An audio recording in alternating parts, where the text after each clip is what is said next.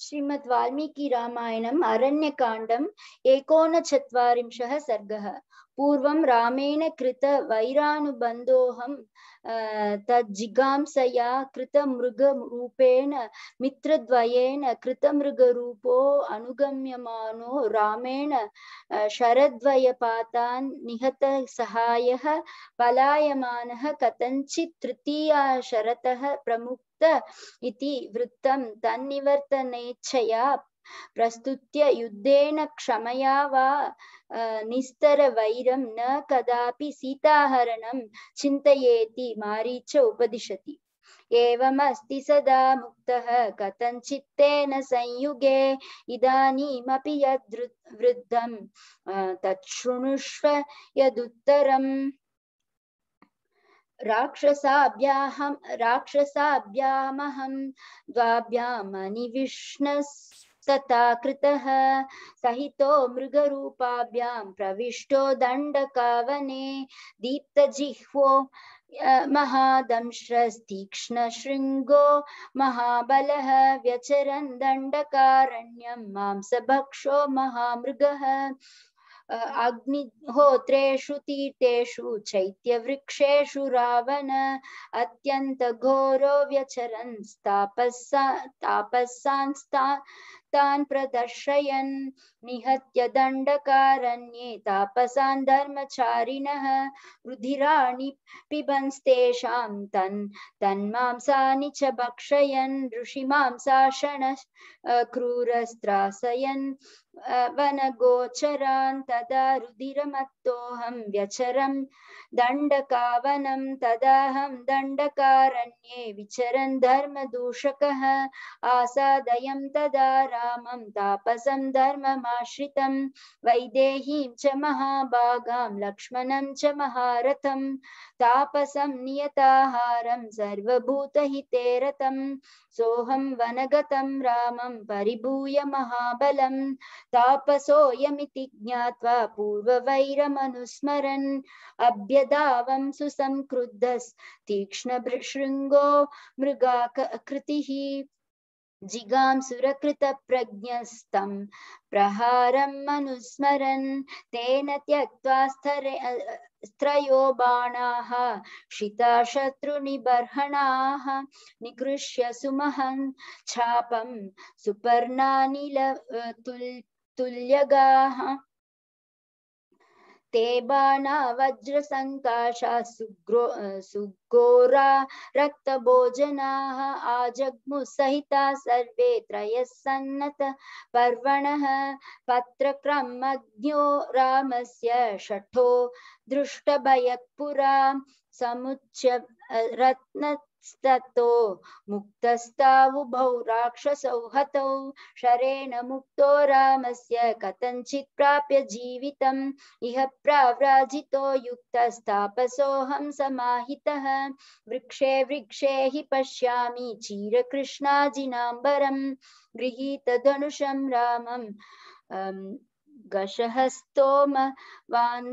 तकम् अपि रामः भीतः पश्यामि रावण।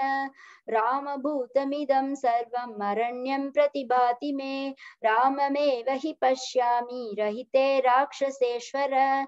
दृष्ट्वा स्वप्नगतं रामम् उद्भामीव चेतनः उद्भमामीव चेतनः रकारादीनि नामानि रामस्तस्य रावणरत्नानि च रथाश्चैव। वित्रासं मे। अहं तस्य प्रभावज्ञो। न युद्धं तेन ते क्षमं।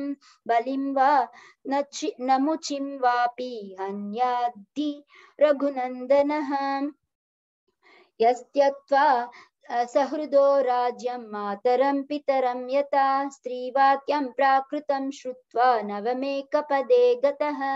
अवश्यं तु मया तस्य संयुगे कर करघातिनः प्राणैः प्रियतरा सीता, हर्तव्या तव सन्निधौ।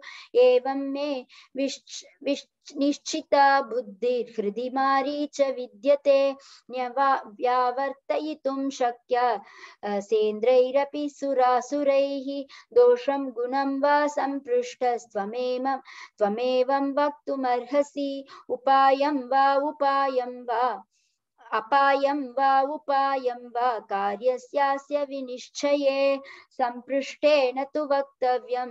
सचिवेन विपश्चिता, उद्य, उद्यताञ्जलिना राज्ञो य इच्छेत् इच्छेद्भूतिमात्मनः।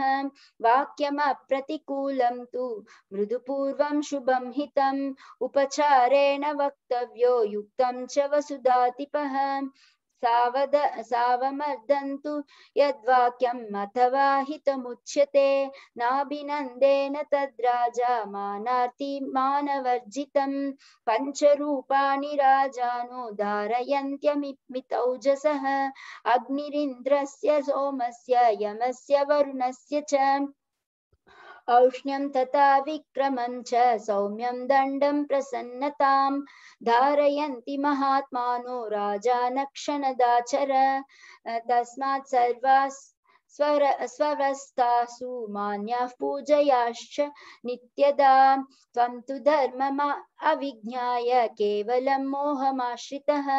अभ्यागतं तु दौरा दौरभ्यात् परुषं वदसीदृशं गुणदोषो गुणदोषौ न पृच्छामि, क्षयं चात्मनि राक्षस मयोक्तमपि चैता चैतावत्वां प्रत्यमित् इतं विक्रम।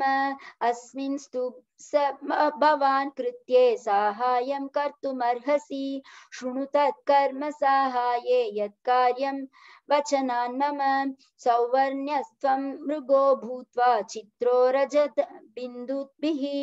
आश्रमे तस्य रामस्य सीतायाः प्रमुखे चर प्रलोभयित्वा वैदेहीं यथेष्टं गन्तुमर्हसि। त्वां हि मायामयं दृष्ट्वा काञ्चनं जातविस्मया। आनयैनमिति क्षिप्रं रामं वक्ष्यात्, वक्ष्यति मैथिली। अपक् अपक्रान्ते च काकुस्ते दूरं गत्वाप्युदाहरम् आसीते लक्ष्मणेत्येयं रामवाक्यानुरूपकं। तच्छ्रुत्वा रामपदवीं सीतया च प्रचोदितः। अनुगच्छति सम्भ्रान्तं सौमित्रिरपि सौहृदात्। अपक्रान्ते च काकुत्स्ते लक्ष्मणे च यथा सुखम्। आहरिष्यामि वैदेहीं सहस्राक्षस शचीमिव। एवं कृत्वा त्विदं कार्यं यथेष्टं गच्छ राक्षस। राज्यस्यार्धं प्रदास्यामि मारीच तव सुव्रत। गच्छ सौम्य शिवं मार्गं कार्यस्यास्य विवृद्धये। अहं त्वानुगमिष्यामि सरतो दण्डकावनं प्राप्य सीताम् अयुद्धेन वञ्चयित्वा तु राघवं लङ्कां प्रति गमिष्यामि। कृतकार्यः सह त्वया नो ते चेत् करोषि मारीच हन्मि। त्वामहमद्य वै एव एतत् कार्यमवश्यं मे बलादपि करिष्यसि। राज्ञो विप्र विप्रतिकूलस्थो न जातु सुखमेधते। असा आसाद्यतं जीवितसंशयस्ते मृत्युध्रुवो, मृत्युर्ध्रुवो ह्यद्य मया विरुध्यतः। एतद्यभावत् परिगण्य बुद्ध्या। बुद्धया यदत्र पत्यं कुरु तत्तथा त्वम्। इत्याश्रे श्रीमद् रामायणे वाल्मीकिये आदिकाव्ये अरण्यकाण्डे चत्वारिंशः सर्गः।